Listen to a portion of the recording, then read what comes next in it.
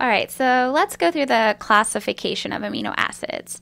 And I've highlighted the word class within classification for you because I'm going to paint for you a picture of a classroom that is full of 20 different amino acids. And just picture this as the most diverse classroom you've ever seen because each amino acid has their own unique side chain, and this makes them distinctly different from the amino acid next to them. And just like a real classroom full of kids, even though each amino acid is unique and special in their own way, you can start to see that some of these amino acids are more alike than they are different. And we can start to see these similarities in the chemical properties of the side chains. And, and this allows us to group them together into various categories. And those chemical properties include the charge of the side chain, the ability of the side chain to undergo hydrogen bonding, and also whether or not we can classify that side chain as being either acidic or basic. So the 20 amino acids can be split broadly into kind of two main groups. The first group includes the nonpolar amino acids, and then the second group includes the polar ones.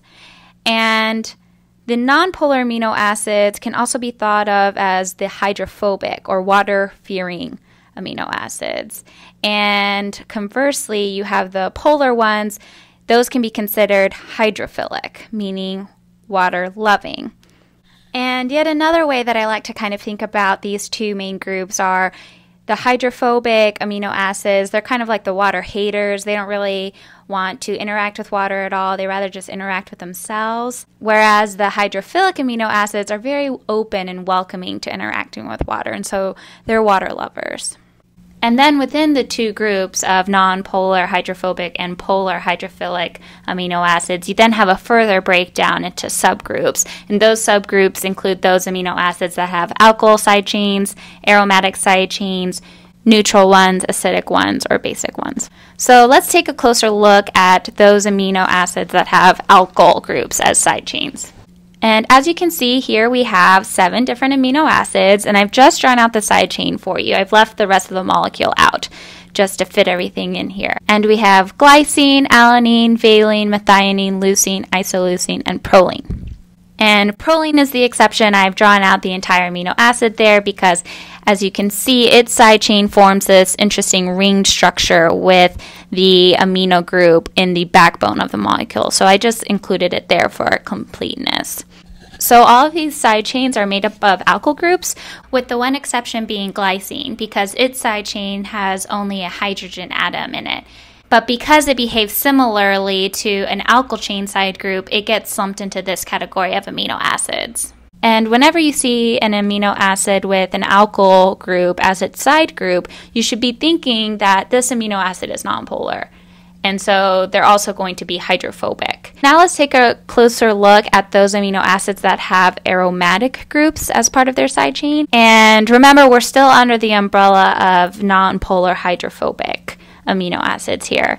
And so I've drawn out for you here two amino acids, phenylalanine and tryptophan. And what should you be thinking when you're looking at these amino acids? So besides thinking, oh, those amino acids must smell really good because they're called aromatic amino acids.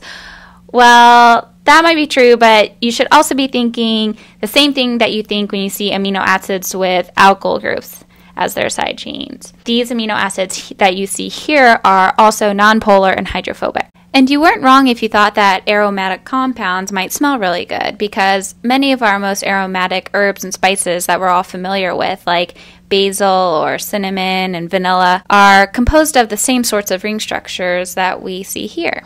All right, so now that we've tackled the nonpolar hydrophobic amino acids, let's dive on into the polar and hydrophilic amino acids.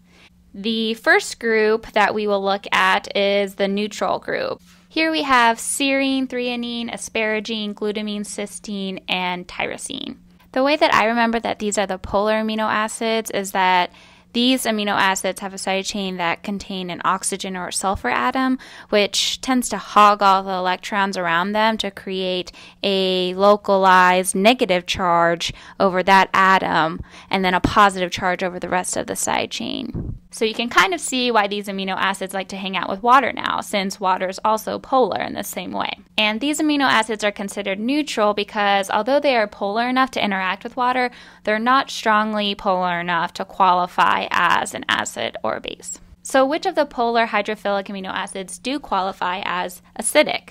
Well, that would be these two amino acids here aspartic acid and glutamic acid. As you can see, these amino acids have a carboxylic acid as part of their side chain, which is a very willing, strong hydrogen donor, which qualifies these amino acids as acidic. When these side chains do donate their hydrogen and they're left in anion form, then in that case we refer to them as aspartate and glutamate, respectively. So you might see them referred to in that way. Last but not least, we have the basic amino acids, and they are histidine, lysine, and arginine.